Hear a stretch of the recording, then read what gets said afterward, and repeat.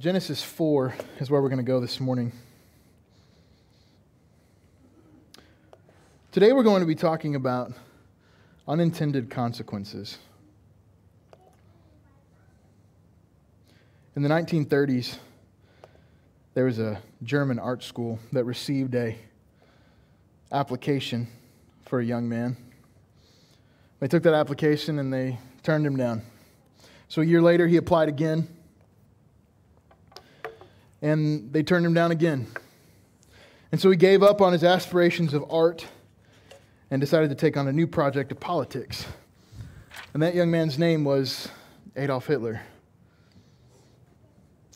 And some historians believe that if he had gotten into art school, and I think it makes sense, right, that he, he probably wouldn't have done the things that he did.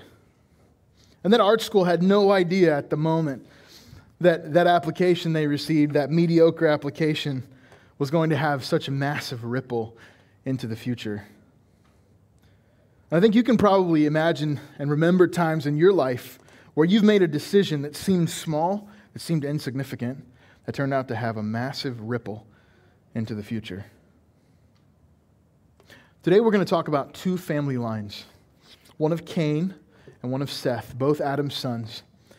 And whenever we talk about genealogies, whenever we read these genealogies from the Bible, it's really easy to just kind of, you know, run through them because it's just a bunch of names and numbers and dates and who cares. But every single word of the Bible is important, is valuable, is meaningful for us, including the genealogies. And I think this morning, what we'll see, hopefully, is that in this genealogy, we see two lines one marked by perpetual patterns of sin, and another marked by perpetual patterns of godliness. And that the decisions of the father at the beginning of these genealogies carried down through generations. So let me pray for us this morning, and we'll get into this together. Lord God, we thank you for the Bible. We thank you for your word that gives us hope that teaches us truth, that gives us a light in the darkness of this world, that, that we are able to see the standard, that we have, are given a, an outline of what it means to be righteous, and that we get to see a glimpse of you and who you are. And so this morning, Lord, we ask that you would show us your glory as we read your scriptures this morning that you would give us a warning and a promise, that you would encourage us to live godly and holy lives. Lord, we ask all these things in Jesus' name. Amen. So, Genesis chapter 4, verse 17 is where we're going to start today. And I'm going to give you the main idea right off the top, and that's this The ripples of sin and of righteousness often go further than we expect. The ripples of sin and righteousness often go further than we expect. Verse 17 Cain knew his wife, and she conceived and bore Enoch. When he built a city, he called the name of the city after the name of his son, Enoch. To Enoch was born Irad, and Irad fathered Mehujael, and Mehujael fathered Methushael, and Methushael fathered Lamech. So now here we are, five generations later. And if we can take the timeline of the other lineage we're about to read, we're talking about several hundred years since Cain killed Abel. And we have basically nothing at all said about Cain's descendants. They just are names until we get to Lamech in verse 19. And Lamech, it says, Lamech took two wives. That's already not good. The name of the one was Adah, and the other was Zillah. Adah bore Jabal. He was the father of those who dwell in tents and have livestock. His brother's name was Jubal. He was the father of all those who play the lyre and pipe. Zillah also bore Tubal Cain. He was the forger of all instruments of bronze and iron. And the sister of Tubal Cain was Naamah. So here are Lamech's children. They have contributed all these interesting things to human society and culture. And yet, Moses, the author of Genesis, sums up Lamech's story not by their, their contributions, but by something else. Here's how he closes this line. Verse 23 Lamech said to his wives, Adah and Zillah. Hear my voice, you wives of Lamech. Listen to what I say. I have killed a man for wounding me, a young man for striking me. If Cain's revenge is sevenfold, then Lamech's revenge is 77fold. And that's it. That is the end of Cain's legacy. This little vignette into the life of, of Cain and his descendants, and that's all we have. And the reality is, here, five generations later, things have not gotten better, they've gotten worse. Cain killed his brother, and Lamech, his great great great grandson, announces and brags about a murder that he has committed. And he brags about it to his polygamous wives. And so, even though there are advancements in technology, like I said, they are still tainted by Cain's legacy. Lamech is a murderer, and he's proud of it. And notice what's missing in Cain's legacy here. There is not a single mention of God anywhere in these verses. It seems that they had completely abandoned the Lord, just like Cain, and just like Cain had taught them to do. But then we have another family line. Verse 25 says Adam knew his wife again, and she bore a son and called his name Seth. For she said, God has appointed for me another offspring instead of Abel, for Cain killed him. To Seth also was born a son, and he called his name Enosh. And at that time, people began to call upon the name of the Lord.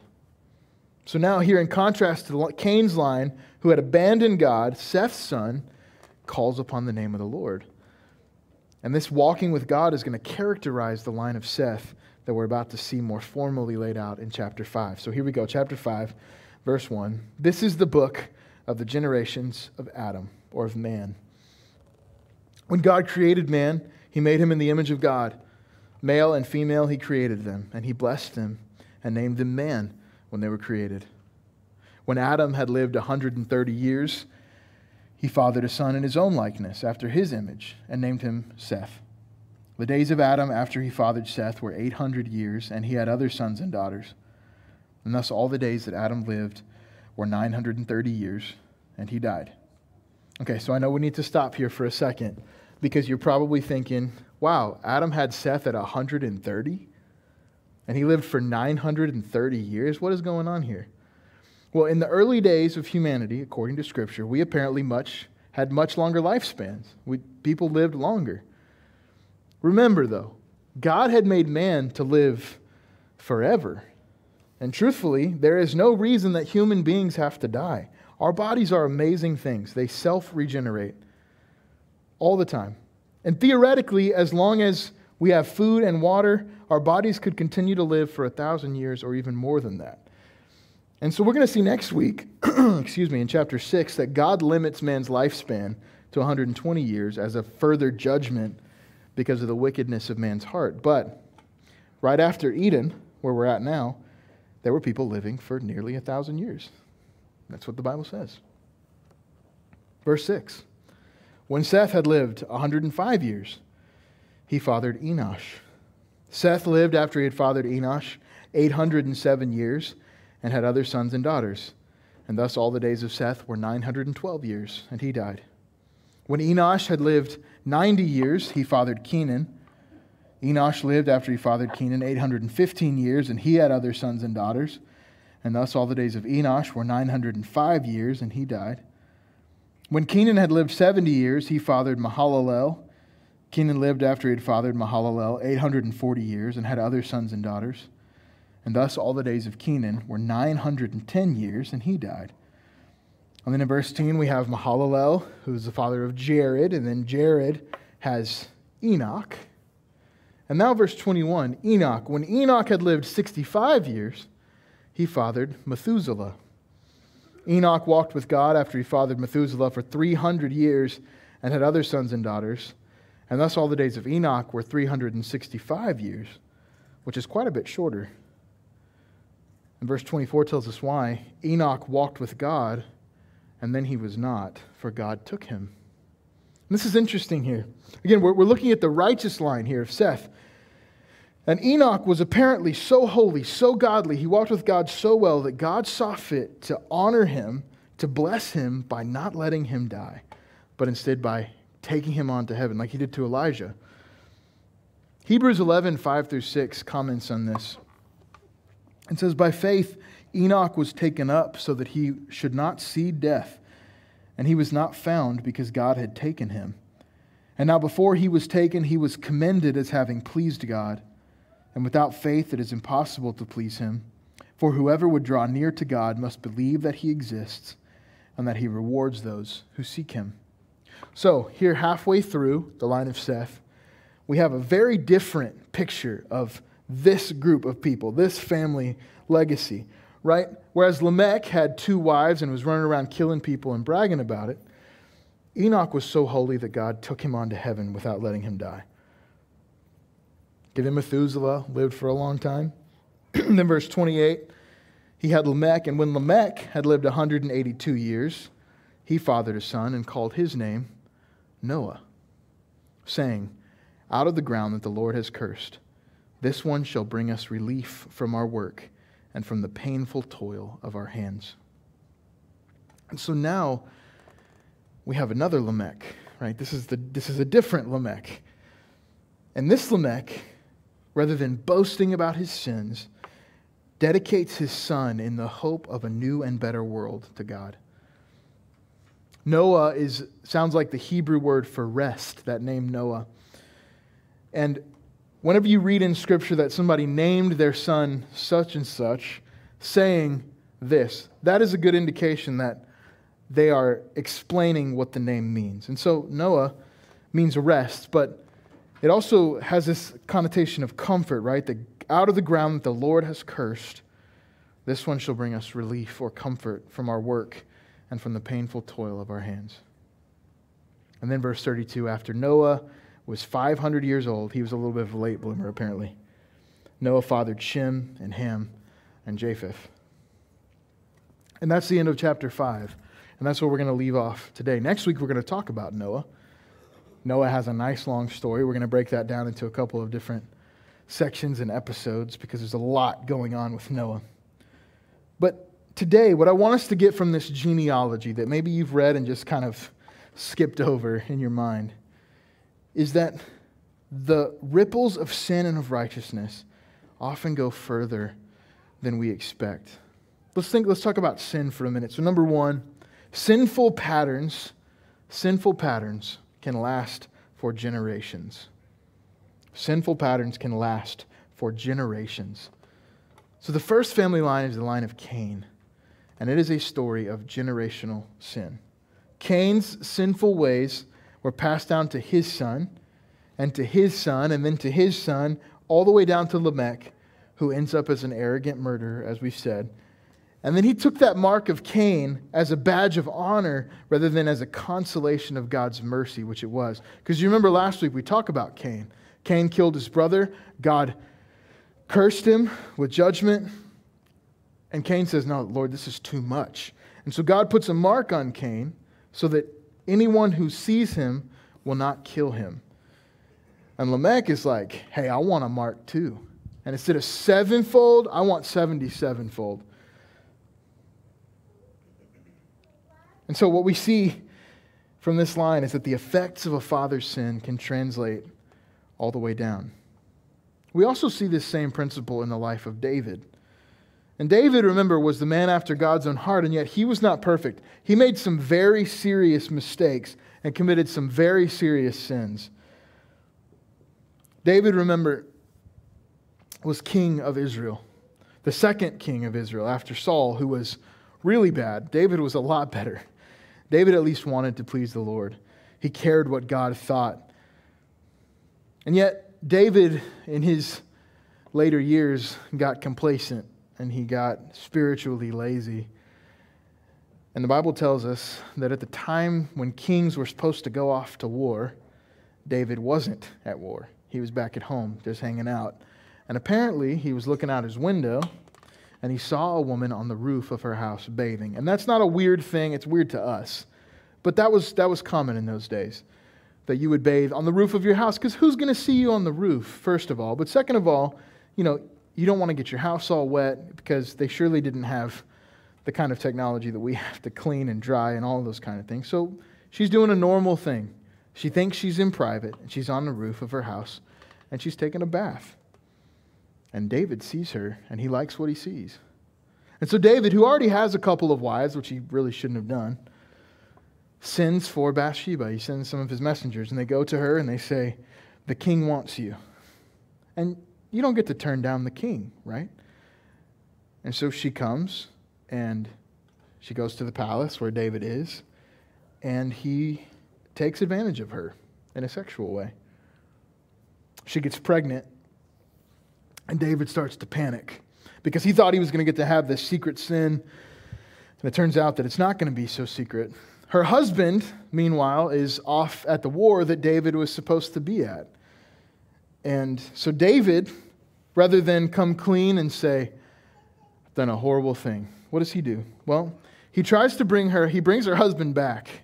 And his hope is that he can bring the, her husband back and get them to get together. And then her husband will think that it's his baby and not David's, and nobody will know, and it'll be covered up. And so her husband comes home from the war, and he says, Hey, you know what? Why don't you enjoy some rest? Go spend some time with your wife. And he's too honorable of a man, and he says, No, I can't do that. I can't do that. My men are off fighting. How, how, could, I, how could I enjoy time at home when my men are dying in battle? And so David says, Okay, if he's not going to do what I wanted him to do there, let's put him on the front line so he'll just die. And then I can marry her and no one will care. And so that's what he does. He essentially murders her husband and then he marries her. And God was obviously not pleased with that. And through the prophet Nathan, God revealed to David his displeasure. And David realized what he had done, which you think, man, David, you should have understood what you were doing like a long time ago. But he understands what he'd done and he goes to the Lord and he confesses and he begs for God's forgiveness. And God forgives him. And yet God says there will be consequences. And the consequences that baby that is in that is in Bathsheba's womb is going to die. And that's exactly what happens. And yet from that point on, David's life starts to descend, right? There, there's never another high point in David's life like the ones when he was young, when he was holy, when he was righteous, when he was doing God's will constantly, when he was doing exactly what God had commanded him to. From that point on, David's ministry, his legacy, his life is tainted by this sin. And David ends up with 70 children because again, he's got a bunch of wives, which he was not supposed to do in the first place. And his children turn out to be a bunch of jerks, basically. Uh, two of his sons, well, one of his sons takes advantage of one of his daughters, and then one of his other sons decides he's going to come after him for revenge, and they both end up dead.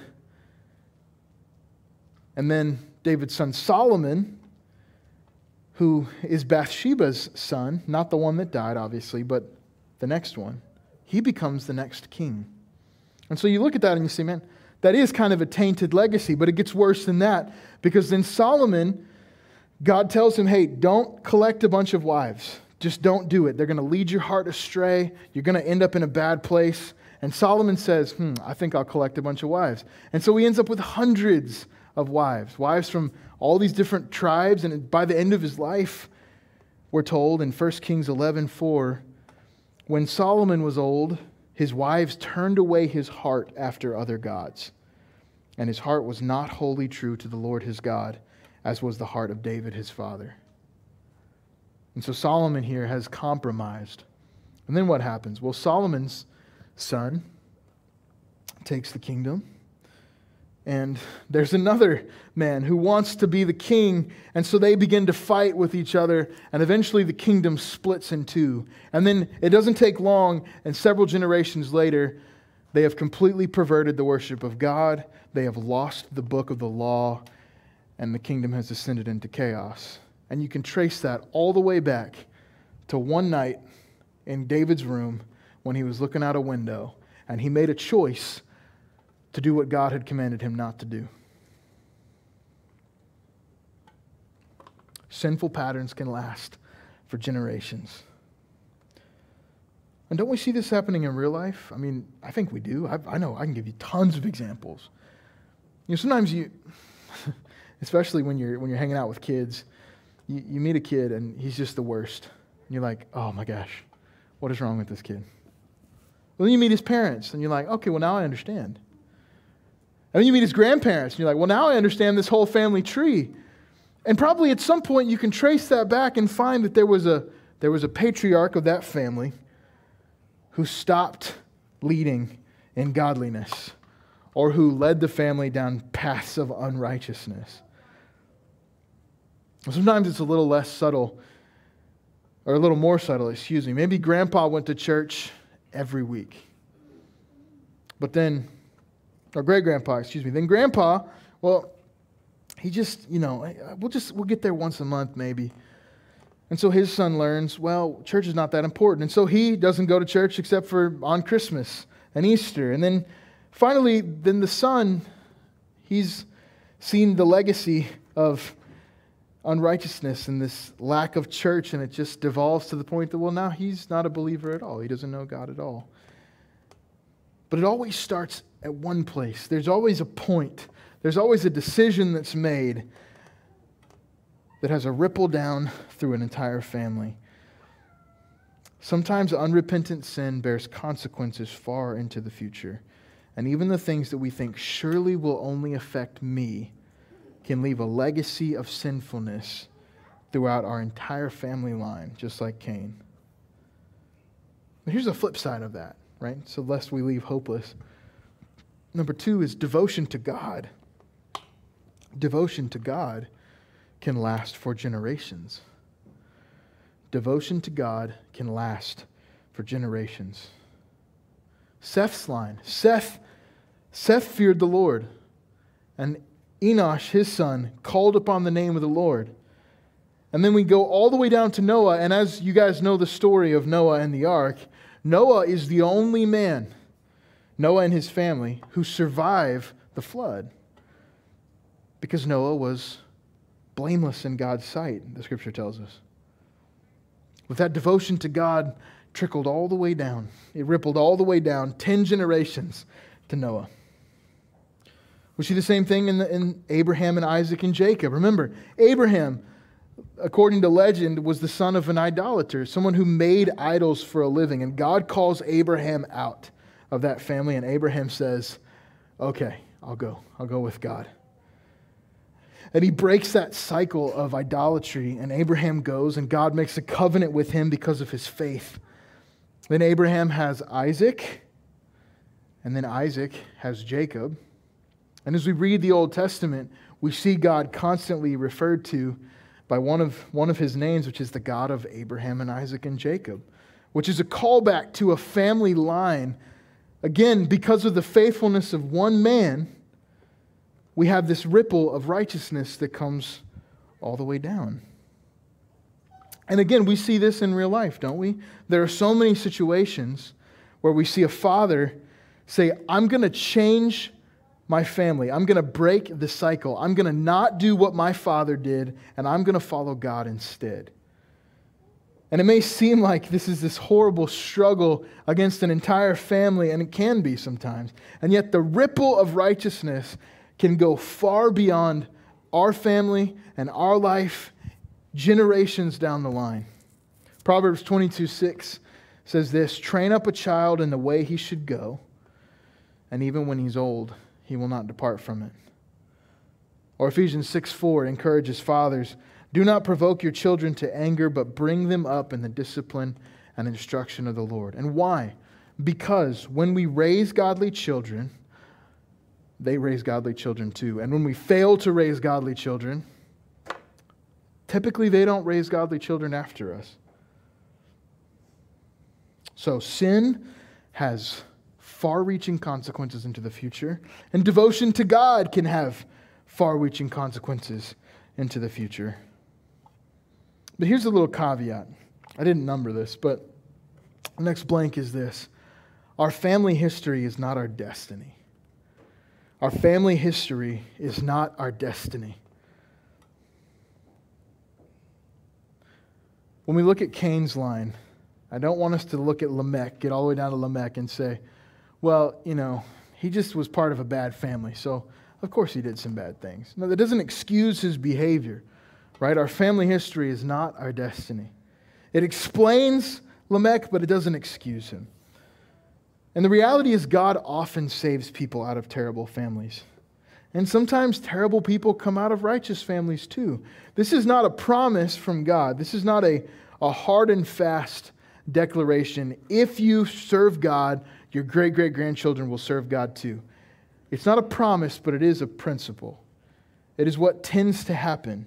It is the way that the world works, it is the way that God has designed family to be.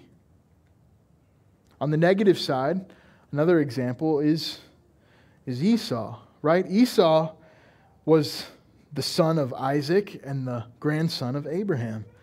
And yet Esau was not faithful to God. Esau sold his birthright for a single meal, right? He broke the, the cycle in a bad way. This righteous family, or this righteous line, even though they had their problems, they produced an unrighteous offspring. And then on the positive side, though, we have Paul from the New Testament.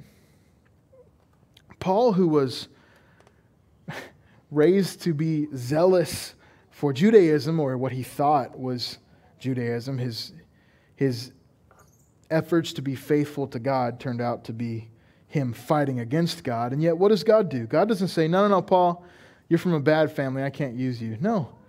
He rescues Paul in the middle of his persecution of Christians. He converts Paul, and Paul meets Christ on the road, and Paul is changed forever.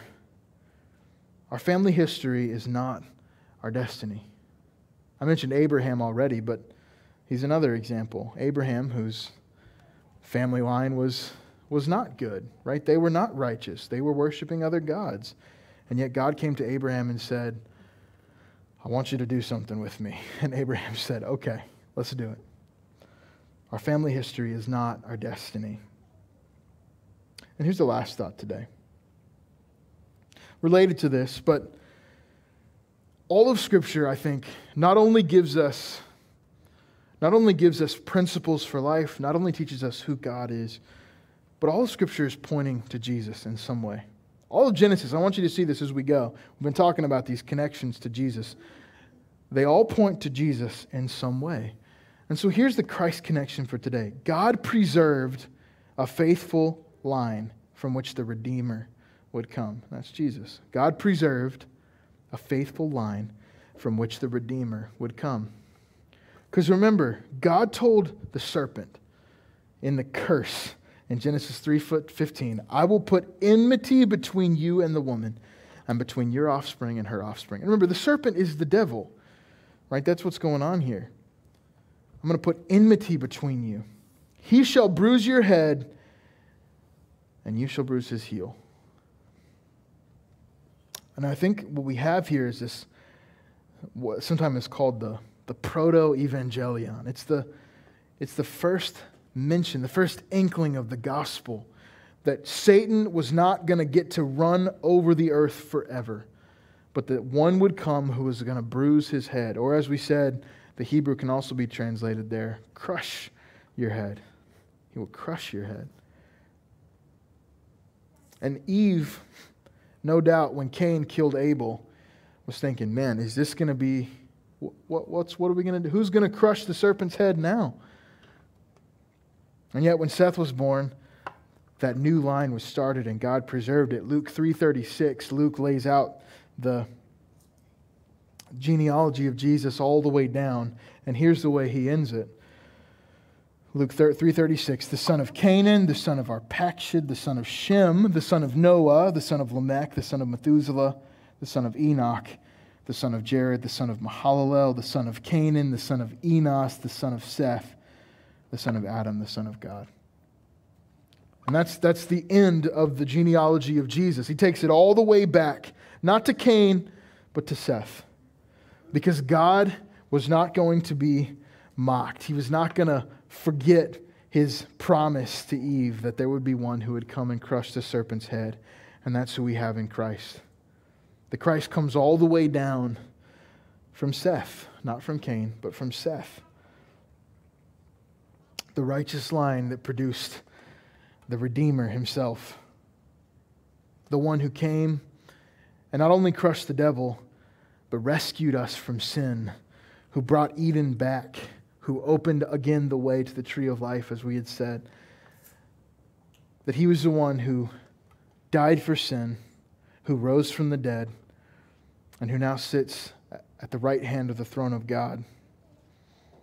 The one who welcomes us by faith to come and enter into a new family line, to be adopted as sons and daughters of God through Jesus Christ. So here's my last thoughts today. I want us to just consider a couple of questions together. First is Have you submitted your life to Jesus? Or are you living by your own rules? Because the difference between these two lines that we see Cain and Seth is that one of them loved the Lord and the other did not. And so that's the first question we have to answer. Do you love God or not? Have you submitted your life to God or not? Have you called upon the name of the Lord or not? Because the Apostle Paul uses those same words in Romans 10, and he says, All who call upon the name of the Lord will be saved. And so, before you can even think about changing your family line, before you can even think about the legacy you're going to leave, you've got to say, Do I belong to God or not? Because if not, you have no hope of a good family line. But God can take even the messiest, most sinful person and flip them upside down. So, have you submitted your life to Jesus, or are you living by your own rules? And if you've submitted your life to Jesus, then the next question is this What kind of ripples am I making? What kind of ripples am I making? Am I living in a way that is setting up myself and my family for a righteous future or not? Am I pursuing the things of God? And am I bringing my family along to do the same? Or am I pursuing the things of the world? And that ties into the last question, which is what kind of family legacy will we leave? What kind of family legacy will I leave? Because the things we do today have ripples far into the future.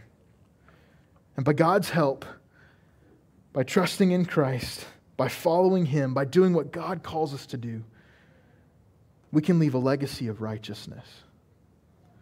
Or if we decide to go our own way, there is only one way for that legacy to go Let me pray for us. Lord God, we thank you.